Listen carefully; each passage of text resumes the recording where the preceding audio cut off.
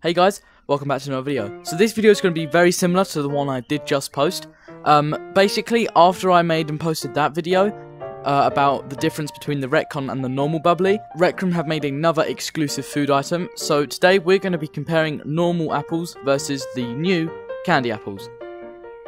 Okay, so here we have the normal red apples. How you get these is if you go to Crescendo and then you play uh, for a bit and earn some silver. You can buy these. I think they're around 2,000 silver, which isn't too much. Um, but yeah, the actual apples themselves, like the design of them, is really simple. It's just like a basket here. Um, but inside here we have got the apples. Right, so as you can see, this is the apple. It's just, it just looks like a normal apple, like a real life one. Um, it's red. Uh, the like pick up and drop sound it's nothing special, it just sounds like um, any normal item would. Um, but yeah, I guess let's take a bite out of these. I think these do look really cool after you've eaten them for a bit, because they like leave the center and stuff, but they make a really weird sound, look. But yeah, let's eat the rest of these.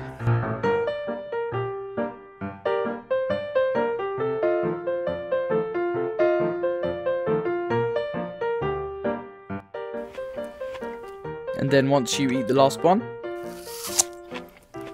basket disappears. Okay, so as you can see, one of the first differences is the basket. Now, before it was just like um, a creamy sort of colour. Now it's black with some orange on it. This is like sort of Halloweeny colours. So the apples themselves feel just a bit bigger for some reason. Uh, the texture of them, you probably can't see too well, but a lot more shiny than the other ones. Um, and also an obvious detail is the top is green and the bottom is red.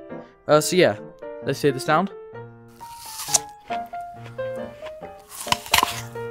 So it's the same sound as before. Yeah, these these apples are definitely bigger. They they look a lot bigger.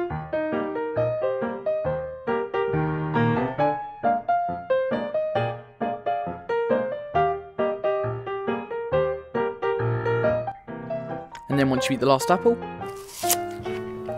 basket disappears. Personally, in my opinion, um, I don't think that the candy apples are as cool as the RecCon Bubbly because the RecCon Bubbly had a lot more differences, whereas the candy apples were just mainly a visual change. If you're on a Quest 1 or a Quest 2, uh, this is your chance to get uh, apples because normal apples are only for Crescendo players and you can't play Crescendo yet. Um, so it is, I do like how Room are adding these new items. I think it's really cool.